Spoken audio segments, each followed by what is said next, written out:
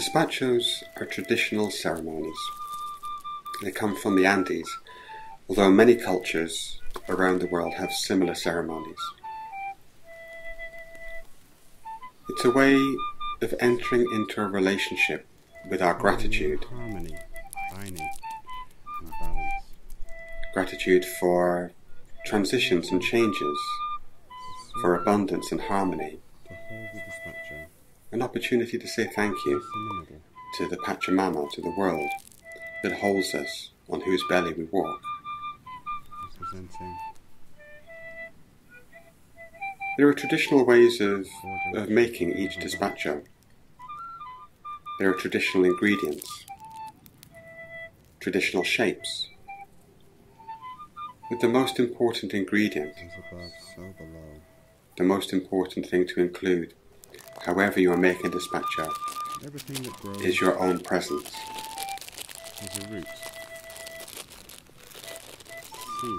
These despacho ceremonies are completed by people from many different traditions hmm. all through the Andes. has the intention blown into it. Creation of a despacho begins What will grow? with a lower layer. You choose ingredients to represent everything in your life that might be at the foundation of whatever it is you want to represent, what you want to work with. after this change and transition. Everything in life has a beginning, from these new seeds. and so we might symbolize Put to a dispatch the aspects of this beginning, a new project, a transition in our life, with seeds, things that grow roots. The intention is all yours. Beginning by making a circle, Giving gratitude. perhaps with sugar, bringing sweetness into the despacho, even if the despacho is to represent change that may not have always been easy. You create a circle or a square, organizing the despacho as you create it, letting it speak to you so it becomes an organic and flowing process.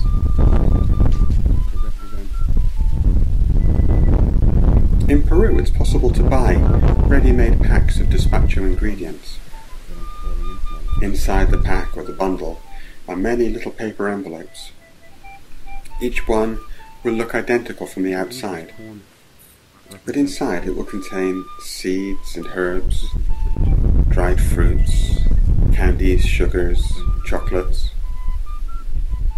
Small symbols to represent the archetypical energies that manifest in our lives, and everyday things. Sweet despacho. Many very sweet. There will usually be a shell to represent the mamacocha, the mother of the ocean, Forest.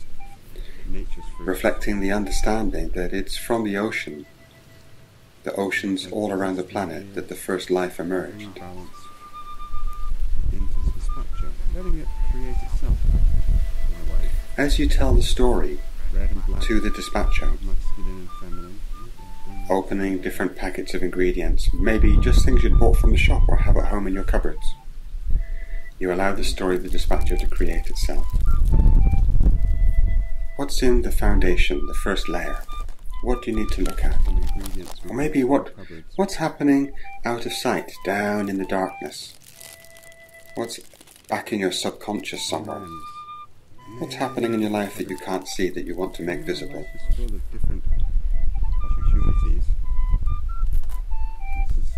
Looking at the ingredients. This is a very sweet When you feel the time is right, selection of things. you begin to think about the next layer of the despacho. Maybe these many. Maybe what's happening in the here and now, the middle world, the the ordinary and everyday. of the universe. Perhaps your despacho is The about rainbow that wraps around harmony, ayni, balance.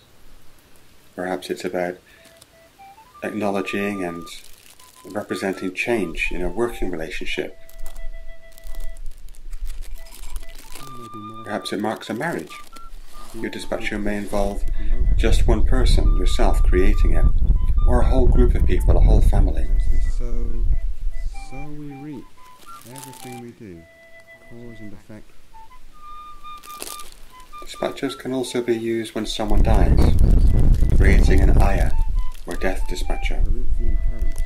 can be honouring with seven layers.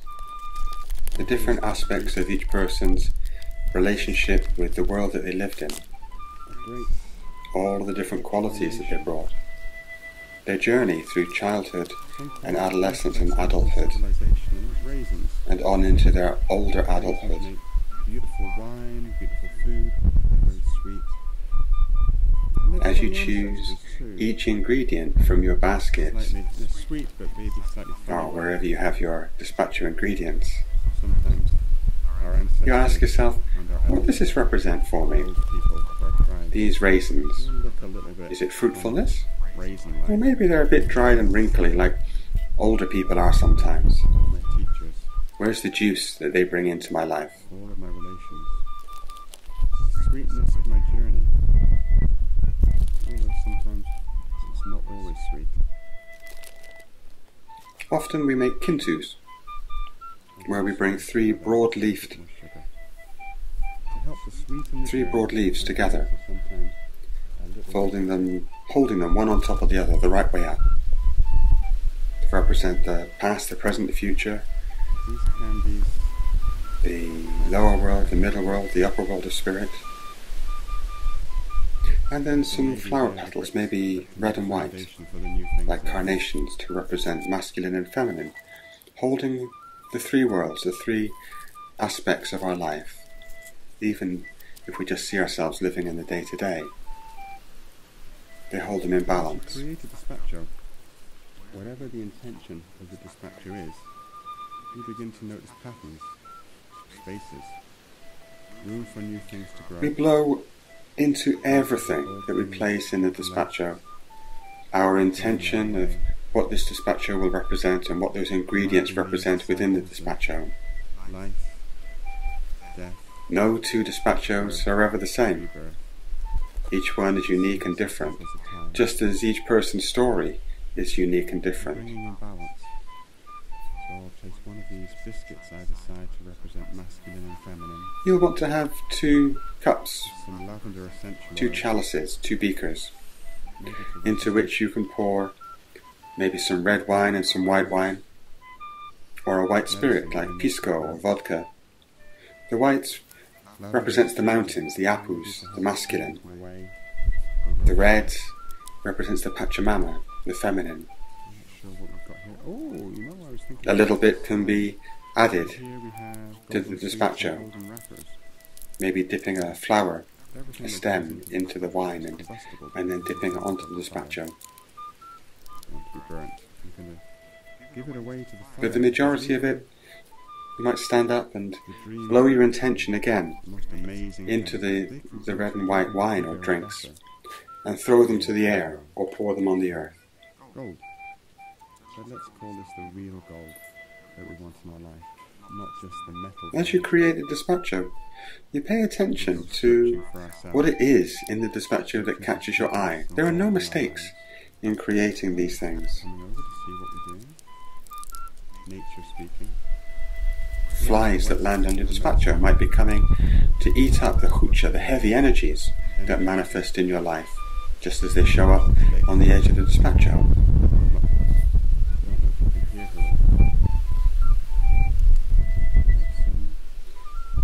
her. A cat, oh, puma, that walks across your path while you're making the despacho might represent the peaceful warrior, integrity, impeccability. Hummingbirds that come to visit while you're making might connect you with the aspect of the despacho that connects with the dream time. Hummingbirds, life being a great journey. White spirit of vodka from Greece. But I'm going to give some of this When you've made all of the layers of your despacho, the and you look into it and see that it tells the complete story that you want to reflect, that you want to say thank you for, your wisdom held at the mountains. Then you fold it up carefully, folding in the sides For the wisdom of the paper that you made it on. reservoir Of the wisdom that I leave for each Making three folds. lifetime to lifetime.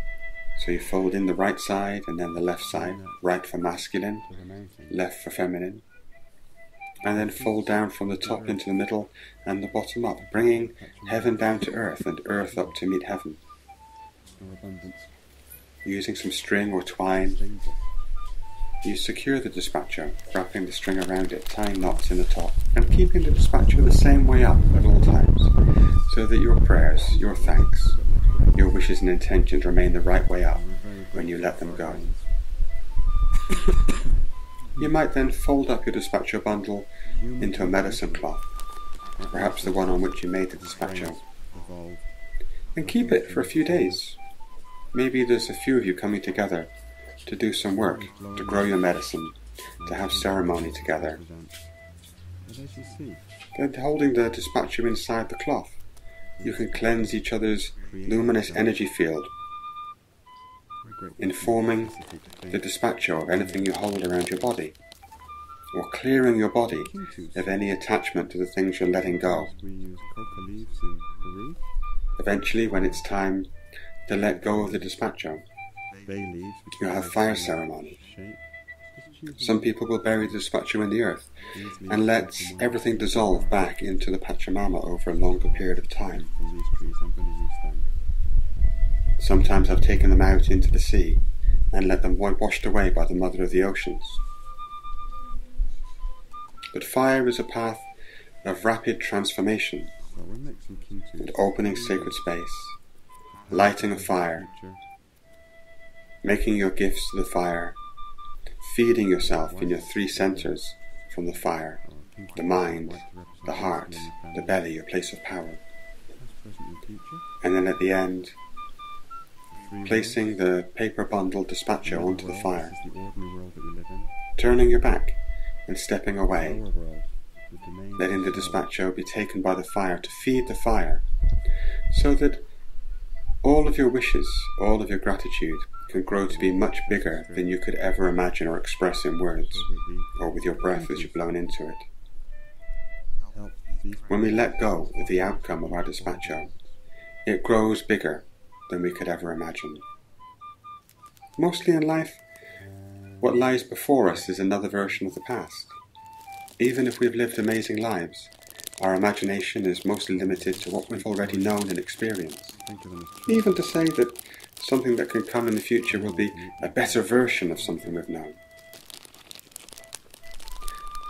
So that the gifts of the despacho come back to us and to our children and our children's children, to our communities, to our colleagues in work, people we do business with, so that they can come back in a larger way than we can imagine. We let them go. Turn our backs on the fire and wait until the fire has completely taken the despacho and everything has returned to red embers. Then closing sacred space.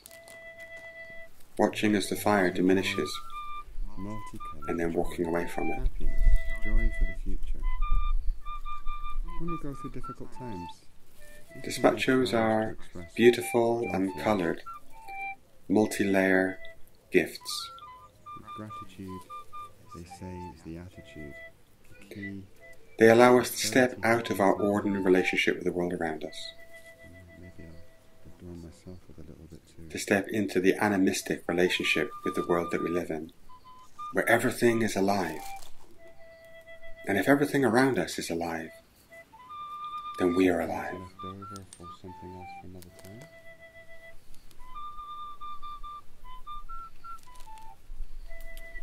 What I'm going to do is to fold this up very carefully. If you'd like to know more about creating despachos, so that you can mark the transitions in your life, Folding it three ways. so that you can teach your family, your partners, your children, how to honour the transitions and changes that they will inevitably travel through in their lives. And please play to the end of the video. I run workshops on a regular basis, teaching people how to use these beautiful, colourful ceremonies. Or perhaps you'd like to come with me to Peru and to sit in ceremony with the Qero, the Inca shaman of this lineage that we work with, learning directly from them in the ancient places of power. Machu Picchu, Oyanti Tambo, Lake Titicaca.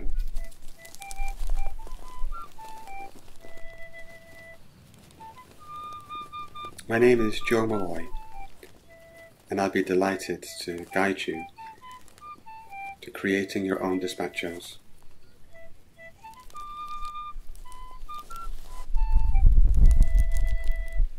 Let's step into a bigger world together than we can ever imagine on our own.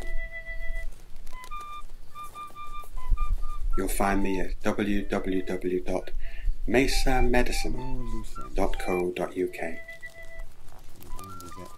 or on Facebook, facebook.com slash Mesa Medicine. I look forward to connecting with you and our journey together. Everything that I plant to grow corn. Palo Santo. Corn representing abundance. Palo Santo. Beautiful, fragrant, sacred wood. A gift to the gods. Feathers. May my prayers grow wings. I'm up to the sky. Feathers come from birds, water birds that live.